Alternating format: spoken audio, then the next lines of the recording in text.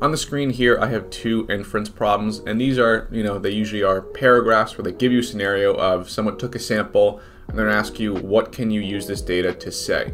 And the key here is to identify what type of people are being sampled. So when you sample people and you get that data, you can only apply that data to the same type of people. So let's read the first problem here. The members of a city council wanted to assess the opinions of all city residents about converting an open field into a dog park. The council surveyed a sample of 500 city residents who own dogs. The survey showed that the majority of those sampled were in favor of the dog park. Which of the following is true about the city council's survey? So before we even read the options, let's think back. Who are they sampling? And we see that they are sampling 500 city residents who own dogs. So they only sampled dog owners, meaning we can only apply these results to dog owners. So let's look at the answers. A, it shows that the majority of city residents are in favor of the dog park. No, it shows that the majority of dog owners are in favor of the dog park, so not A. B, the survey sample should have included more residents who are dog owners. They're all dog owners. We don't need any more. Not B. C.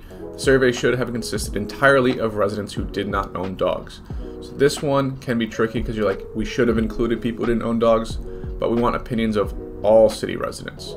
So we want people with dogs and without dogs. So that one's wrong, leaving us with D. By default is the right answer, but let's look at it. Survey sample is biased because it is not representative of all city residents. That's true.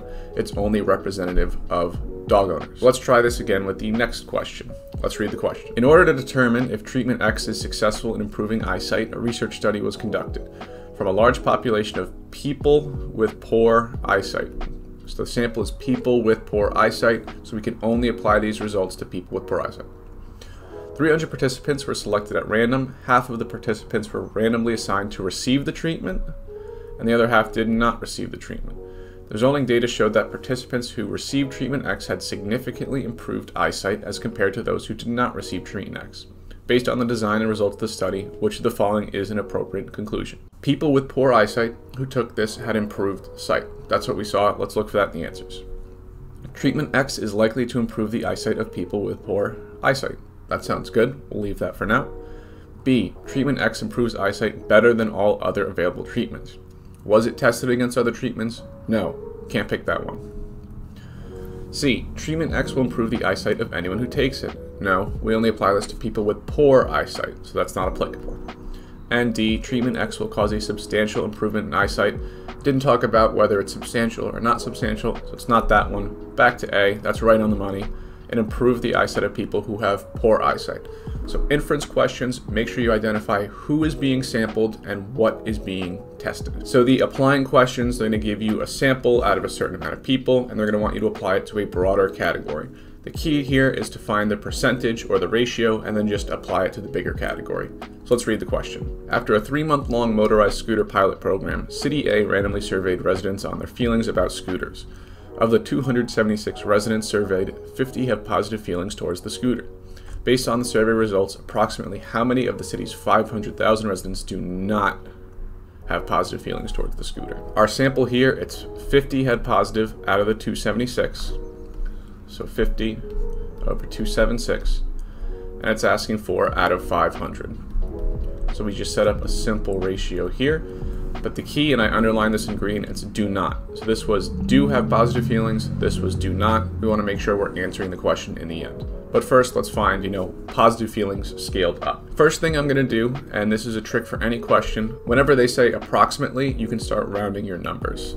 So we have 50 over 276. I'm going to make it 50 over 275. This is going to make it easier, and now I can just scale down this fraction. I'm going to divide everything by 5 here, so that's going to become 10.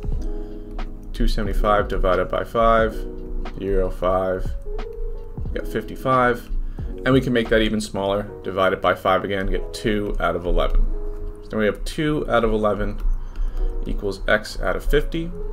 Cross multiply, get 11x equals 100. And that's going to turn out to be about 91. And you can see that they bait you with this answer, but it's not A, because they're asking which ones do not have positive feelings. So if 91 have positive feelings, that means the rest have not positive feelings. So 500 minus 91, which is 409. And that's our answer. So key here is to set up a ratio or find a percentage and then just apply it to the bigger amount. You got to watch out here though and make sure that you're answering the question because a lot of times they'll give you one statistic, but they'll want a different one for the bigger scaled up version. That's it for stats. Uh, on this channel, I have my free SAT math course. If you're interested in these free lessons, subscribe for more.